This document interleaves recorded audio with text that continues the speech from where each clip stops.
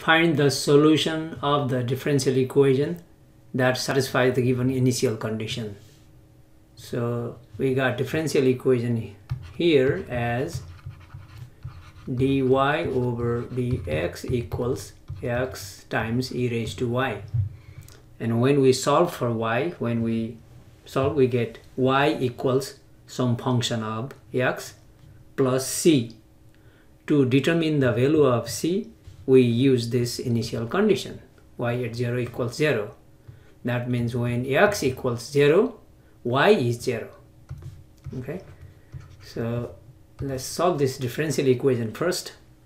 So x times here, so we need to separate the variables. Function of y, dy, this is on the top in the left, and function of x, dx in the right side. This is same as writing dy equals, move dx to the other side, e y dx. So this is in differential derivative form. Now this is in differential form. Now here is dx means we can only leave x so that we can integrate. Okay, this is dx.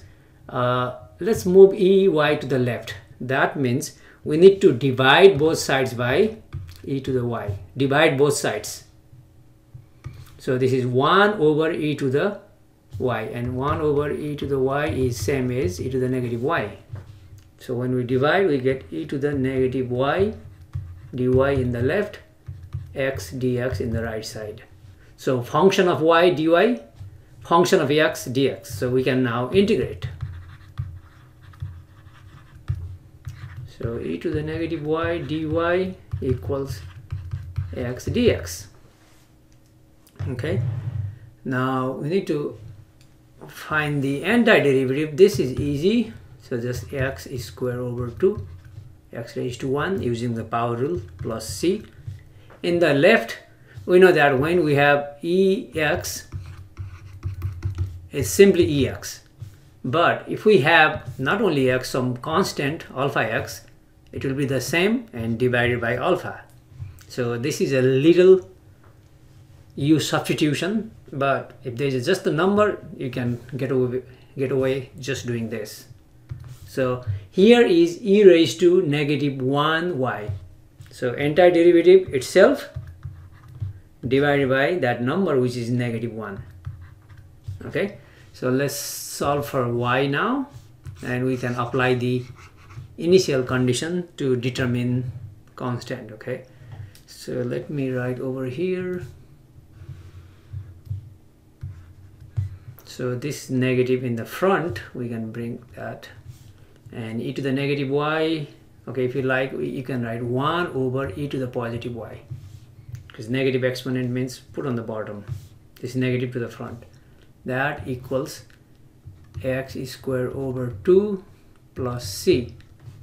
Now we have two options. We can determine the constant using the initial condition or we can first solve for y then use initial condition to determine C.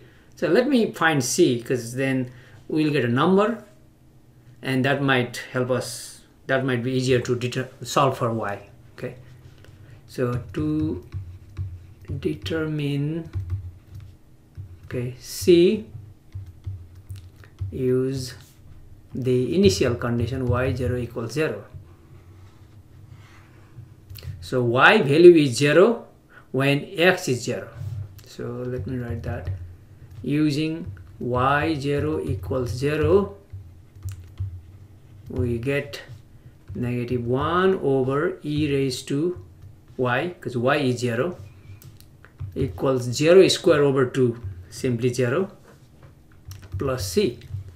And e raised to 0 is 1 negative 1 over 1 is just negative 1 so c equals negative 1 okay now we can put this back here in this equation. So we got negative 1 over e to the y equals x square over 2 plus c. C is negative 1 now we need to solve for y. Uh, this one is still a good solution but we have not isolated y so this is implicit solution. Explicit solution means we need to determine, we need to isolate y. I mean, that's what they want, to isolate y. So here is negative. So how about multiplying throughout by negative 1 so that we can get rid of this negative. So ey equals uh, negative x square over 2 plus 1 okay now this is on the bottom ui so we need to move to the top. So we can flip this fraction.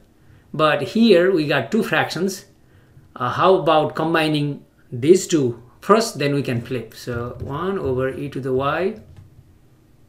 Or we can move this up leave negative and that works as well. That might be easier. Okay all we are doing here is trying to isolate y so move this up so e to the negative y equals I want to write 1 first because 1 has plus so I don't have to write negative in the front this. Now get rid of this e so we need to take ln both sides. Okay take ln both sides natural log. So natural log of this equals natural log of whole thing. Because natural log of e when they are adjacent that's just one. So this negative y jumps to the front okay because na natural log of x raised to y I meant e raised to or any e raised to anything this jumps to the front that's that's it and natural log of e is 1 so in this case we get negative y equals natural log of this junk. Now to isolate y, we need to get rid of negative in the front. Multiply both sides by negative 1.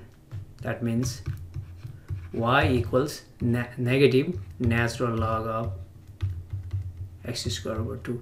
When we multiply by negative 1, it's just outside because this is just argument for ln. So y equals negative ln of this junk that's the final answer